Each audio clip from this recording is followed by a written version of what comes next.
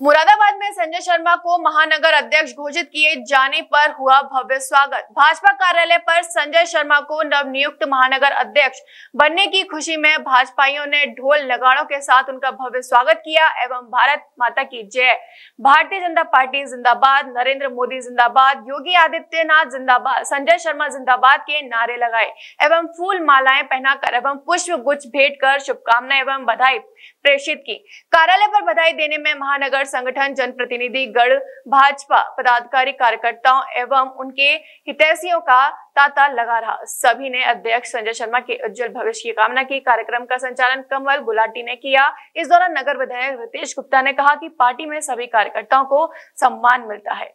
बस हमें निस्वार्थ भाव से पार्टी की सेवा करते रहना है। 2024 का लोकसभा चुनाव नज़दीक है। हमें प्रदेश की सभी 80 सीटें जीतनी है एवं मंडल की सभी सीटों पर हमें जीत हासिल करनी है। कार्यक्रम में पूर्व पिछड़ा वर्ग आयोग सदस्य गिरीश वर्मा ने कहा कि संजय शर्मा बहुत पुराने कार्यकर्ता हैं।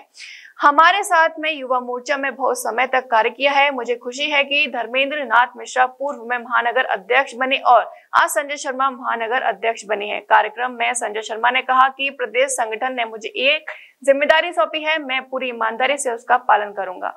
गुप्ता जी, क्षेत्रीय महामंत्री श्री हरिओम शर्मा जी, अब तक हमारे अध्यक्ष रहे।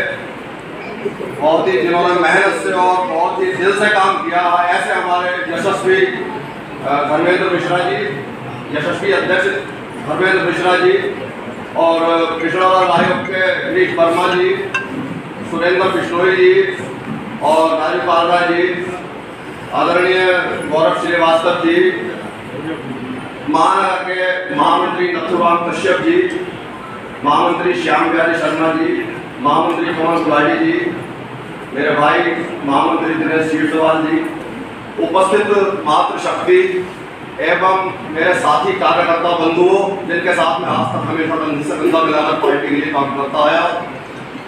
आज सर्वप्रथम तो मैं ये कहूँगा कि जिस प्रकार से आपने मेरा स्वागत किया और इतना असीम प्यार दिया मुझे यहाँ पर, मैं बहुत आत्म विभोर हूँ।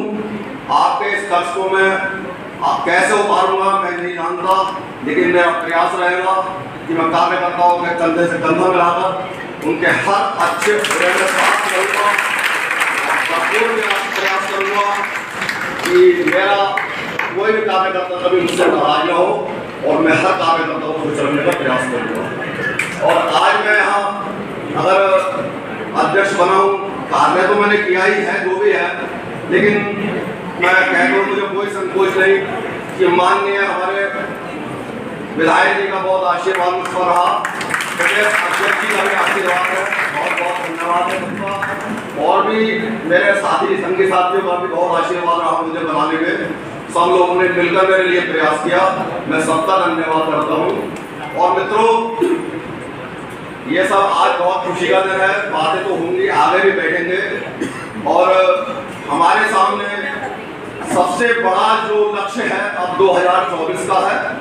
हमें अपना ध्यान 2024 के लिए केंद्रित करना है और हमें अपनी लोकसभा की सीट बहुत बड़े अंतर से जिताकर भेजनी है और इसी लक्ष्य को ध्यान में रखकर हमें काम करना है।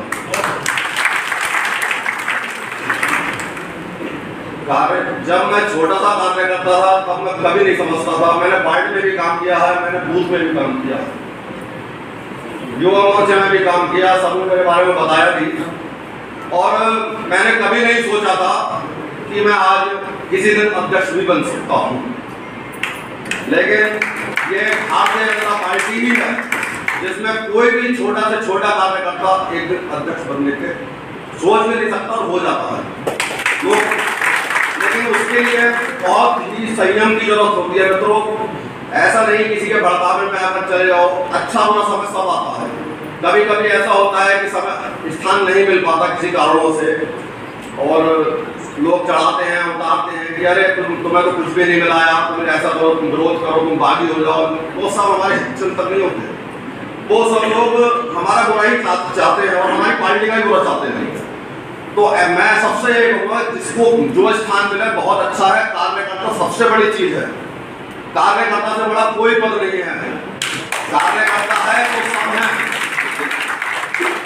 मित्रों, किसी के कहने में नहीं आना है और 2024 के लिए लड़ना है। और जो भी किसी कार्यकर्ता को आगे कभी कोई ज़रूरत पड़ेगी, किसी भी प्रकार की ज़रूरत होगी तो विधायक जी के सहयोग से पूरा प्रयास किया जाएगा कि उसकी समस्याओं का निदान हो। और पार्टी के लिए हम लोग काम करें। बहुत बहुत धन्यवाद। जय हिंद, जय भारत। रिपेयरिंग पार्ट्स एवं मोबाइल एसेसरीज के थोक विक्रेता हमारे यहाँ कुशल इंजीनियरों द्वारा हर प्रकार के Samsung iPhone Nokia Vivo M I Honor Oppo Motorola आदि मोबाइल की बेहतरीन रिपेयरिंग की जाती है। अब आप अपना मोबाइल रिपेयरिंग कराएँ विद ओरिजिनल पार्ट्स के साथ। जस्ट वन टेलीकॉम हमें आईफोन स्पेशलिस्ट हाईवे प्लाजा के सामने मंडी चौराया मथुरा।